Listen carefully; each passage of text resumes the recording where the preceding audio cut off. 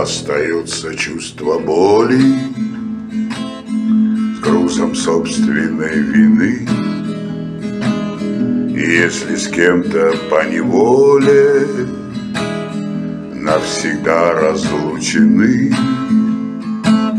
И если добрых слов стеснялись Лишний раз произнести привычно удалялись, не успев сказать прости.